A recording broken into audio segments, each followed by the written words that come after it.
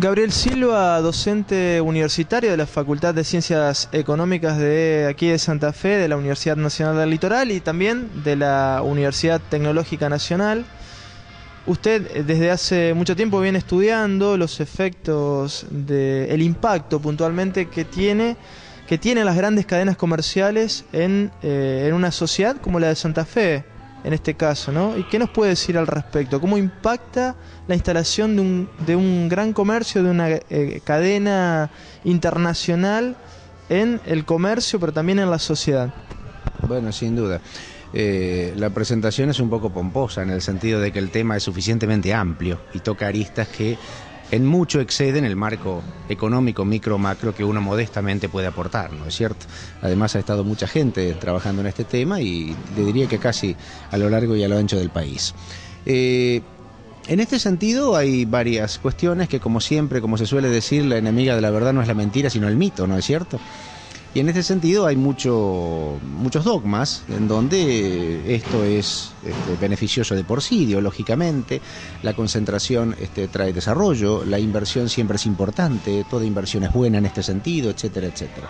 Así que, como título simplemente para iniciar, el tema es muy vasto y tiene implicancias, por supuesto que positivas, en algunos casos de grandes instalaciones, y por supuesto que negativas, en particular sobre las regiones donde se instalan. Y esto se ve tanto al nivel del público consumidor, digamos, en un impacto más micro, como en sus efectos sobre economías más grandes, que puede ser un país.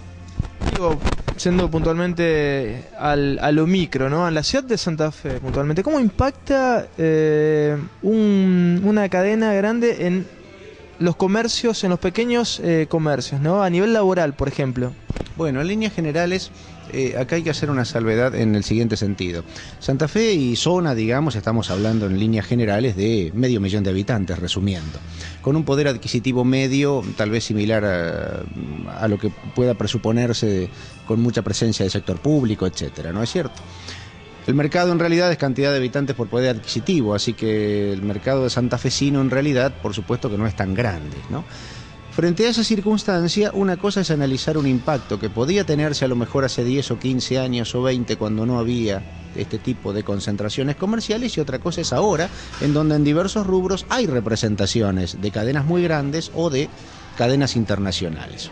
En este sentido, y algunos elementos este, de este tipo han sido tomados por leyes provinciales o algunas ordenanzas en algunas de las ciudades de la provincia, eh, hay ciertas cuotas que en definitiva los mercados, digamos, como decimos en economía, pueden absorber, ¿no es cierto? En la ciudad de Santa Fe y zona, por lo que sabemos, por lo que se ha medido, por lo que tenemos, en realidad esta capacidad, digamos, estaría eh, colmada, ¿no es cierto? Saturada. Podríamos decir que sí, en el sentido de que hay una oferta de determinados tamaños que permite que entonces la sociedad esté, esté bien abastecida. Eh, en este sentido, eh, quiero recalcar algo, siempre se esgrime por allí que una mayor concentración o la llegada o el desembarco de grandes empresas con grandes capitales y otro poderío económico fomentaría más competencia, ¿no es cierto? Eso lo venimos escuchando en distintos este, pasajes de la, de la economía nacional, vos querés, desde la aplicación del año 76-78 hasta acá hemos tenido un poco de, distintos colores, pero más o menos... me recuerdo la propaganda del último gobierno de facto, ¿no? Cuando se abrió la importación, ¿no?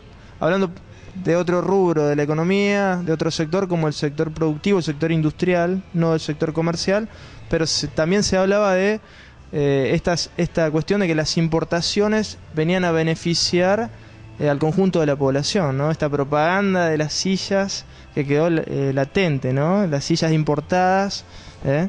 Y me, imagino que el sector eh, comercial funciona de manera similar, ¿no? Este, estos dogmas. Bueno, desde ya, y por eso tomé desde ese inicio, podría haber ido un poco más atrás un poco más adelante, y sin ningún ánimo de abrir ningún debate político o partidario, menos que menos, eh, el tema en realidad viene a cuento porque hay ciertos dogmas que a veces perduran, ¿no es cierto? Y son tomados por un gobierno o por otro, aunque no coincidan entre sí. Eh, en este caso el tema eh, lógicamente es complejo y en este ámbito en donde vivimos, este, invertimos, este, producimos, tenemos a nuestros hijos en las escuelas, consumimos, etcétera, no se observa, ni los datos tampoco apoyarían, que en los distintos rubros de comercios o servicios que la ciudad ofrece, una mayor concentración o un reemplazo de grandes capitales por los negocios tradicionales que abastecen hoy eh, fuera beneficioso. Sinceramente no, no, podría decirse eso, más que desde el punto de vista ideológico. Desde el punto de vista económico no acompañaría eso. Por ejemplo, en la relación que tiene el comerciante con el proveedor, ¿no? En este caso puede ser un productor de hortalizas o las, las pymes lácteas. ¿Cómo, ¿Cómo impacta? ¿Qué poder de negociación tiene eh, un, pequeño comercio, un pequeño supermercado con relación a estas grandes cadenas? ¿Cuál es el, nivel de divergencia en este sentido? La distancia es enorme, a punto tal de que mientras que tradicionalmente el productor y el comerciante regional podían llegar a tener negociaciones de similar magnitud o incluso a favor, por así decirlo, del proveedor, en este caso es al contrario. Y las grandes empresas suelen condicionar enormemente al productor regional a punto tal de prácticamente extorsionar para poder incorporar sus productos.